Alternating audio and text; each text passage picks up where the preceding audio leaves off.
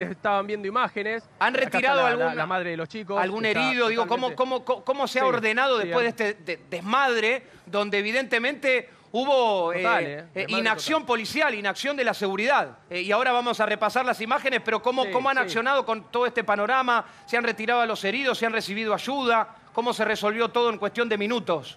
La, la policía, Arthur, vino con, con cuatriciclos, Sí. eh, siete cuatriciclos, pasados siete minutos, y, y empezó a. Bueno, se alejaron rápidamente los fluminenses porque los conocen cómo actúan, y, y empezó a agredir a la gente de Boca con, con disparos y demás. Eh, terrible. Acá los van a ver, acá los mostramos con Claro. los cuatriciclos. No pasan, solo- no solo no a hubo a prevención. Boca y a disuadirlos para que se, se vayan de acá. Claro, no solo no hubo Claro, prevención, claro, sino que actuaron directamente, el foco fue los hinchas de Boca. Dame las imágenes, ya repasamos, Nacho, las imágenes que pudimos tener eh, por, por TNT Sports eh, y ahora seguimos conversando. A ver. Ahí están las imágenes, mira, ahí las repasamos. Esto es en vivo y ahora repasamos las imágenes de lo sucedido. Ahí están los cuatriciclos. ¿Tenemos las imágenes? Ahí está, dale. Bueno, aquí están algunas de las de los cuatriciclos. Así empieza, así se origina, empiezan las corridas. Esto fue hace minutos, ¿eh? lo contó Sí. recién Nacho.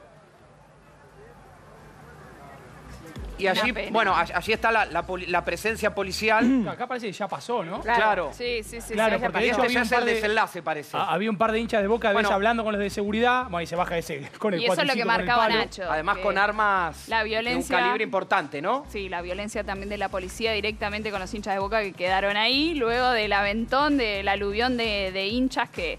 Que se habían metido. sí, claro, que, los bajaron de la nada, agredieron, ¿no? Es una como que tristeza, sí. Se metieron Sí. de repente a la playa, tipo a... Bajaron como en manada. Al trote, claro, Según sí. lo que contaron estos hinchas, estos hinchas mexicanos, a, a robar, a, a saquear todo lo que estaba en el camino. Ahora, eh, el reclamo de Conmebol totalmente es, eh, digamos, el Hola, ¿qué legítimo de los hinchas. Aquí hay una cuestión de seguridad porque es, es una zona liberada. Claro. Eh, estamos hablando del evento sudamericano a nivel deportivo más Mirá, importante mirá. como la final de la Copa Libertadores. Mirá ese, ese hombre con, con el, El arma rifle.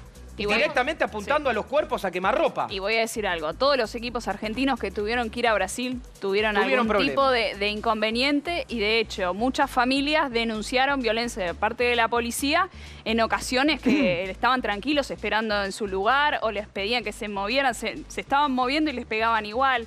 Bueno, son cuestiones que tiene que prever la, la Conmebol y en este caso, por lo que nos dice Nacho, ahora ni noticias se acercaron, sí, la policía, pero hay que garantizar también la seguridad en un, en un evento tan importante como este. Y estamos Es a jueves, mañana Sí. viernes y el sábado se va, Y van va a llegar muchísima gente. Claro, eso, Sí, van sí. a llegar muchos hinchas. Directamente hablan dónde? de emboscadas, Sí. de represión, todo lo que está contando Nacho, reforzado por testimonios de hinchas en redes sociales, por mensajes que me van llegando. Sí, y de- y de zona liberada. Lamentable, zona liberada. Pero zona liberada. eh, tienen que estar atentos por lo que va a ser el sábado, la- el lugar donde se va a ver el partido. Hay muchos hinchas de Boca. Hay muchos hinchas sin entradas. Sin entradas que van a estar ahí en la calle de Copacabana, de Ipanema. Entonces, eh, tienen que estar más atentos. Esto es para que la Conmebol lo tenga eh, Sí. realmente cubierto. Yo ahora le quiero preguntar a Nacho eh, situación geográfica, ¿no? Porque él habló también de, de una zona de hinchas del Fluminense.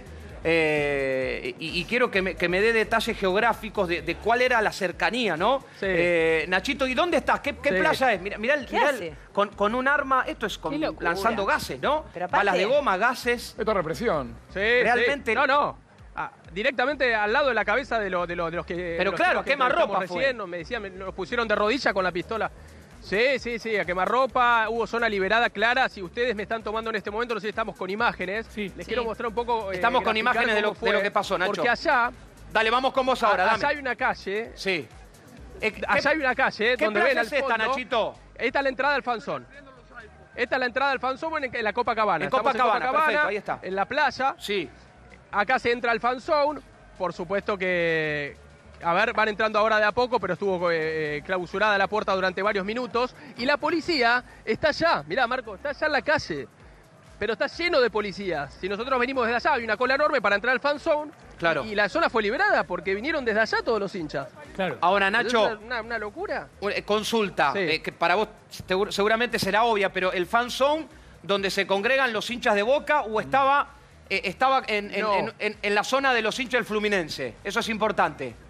No, el- el- eh, es importante que, que hay que decir que son miles de Fluminense Claro. y casi nadie de Boca en ese fan zone. Ahí ese está. fan zone de ahí, de ahí, mira. A ver. Mostrale Marquiño. Ahí, ahí- ahí es el fan zone de los hinchas del Fluminense, Bien. pero está al lado de la gente de Boca, Claro. donde estaban celebrando y donde convocaron ya hace varios días. Eh, entonces, eh, es raro que estén muy cerca cuando dijimos durante todos estos días que iba a haber una separación entre las dos partes. Eso es lo que llama la atención. Ya de Boca desde hace varios días que se encuentran aquí.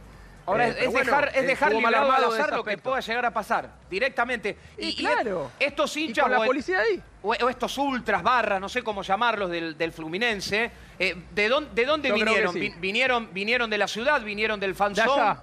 Claro, no vinieron del fanzone, vinieron directamente, bajaron de la ciudad, bajaron de Copacabana. No, del fanzone no. Lo que me pregunto es si vinieron desde la calle para bajar a Copacabana Claro. o estaban en la fila del fanzone que es enorme y que dura siete cuadras. Todo es Fluminense, ves a uno de Boca metido entre medio de la fila que quiere ver lo, lo que significa un fanzone, pero no mucho más. El hincha de Boca sabe que tiene que estar en otro lugar Claro. por todas las recomendaciones que recibió durante todos estos días. A eso iba Nacho, eh, porque eso está armado para, para Fluminense. Ahora, eh, los esto sin echar culpa, pero intentando eh, enco- encontrar un por qué hay tantos hinchas de boca ahí, teniendo en cuenta que más, más allá que es una playa pública, pero que es algo armado para lo- los hinchas de Fluminense. Digo, los hinchas de Boca se Sí. eh, autoconvocan o arreglan para juntarse todos juntos en una determinada playa o están todos diseminados por todos lados. Mirá, Nico, la verdad es que a medida que pasen las horas vamos a ver cada vez más hinchas de boca que están llegando por una cuestión económica. La estadía tiene que ser menor, tiene que ser breve, porque no le da a la gente de boca estar tantos días con, con, con tanto dinero por. por eso. Perdón, Nacho, estamos, perdón, Nacho, viendo, esta es una imagen en diferido, estamos viendo la persecución, fue a cazar un, un efectivo militar de las Fuerzas Armadas de, mirá, Brasil, mirá. fue a cazar a un hincha de Boca, directamente, fue a perseguirlo Hincha de boca, que no había hecho con un nada. arma, con O un sea, arma en la mano, Sufrió las consecuencias. Y y ahí- secundado por, claro.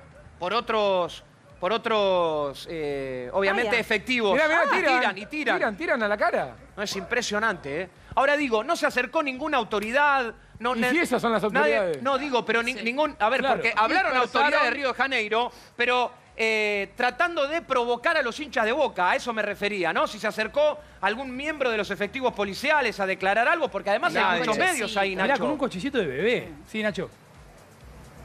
Nadie, nadie. Amedrentaron, eh, Sí. eh, persiguieron, golpearon a todos los hinchas de, no solamente los fluminenses, sino también la, la policía lo mismo. eh, y, y les han robado todas las pertenencias. Eh, pero de verdad, la primera reacción de Boca fue la misma que la de nosotros. Nosotros observamos y decíamos, no, esto no puede ser.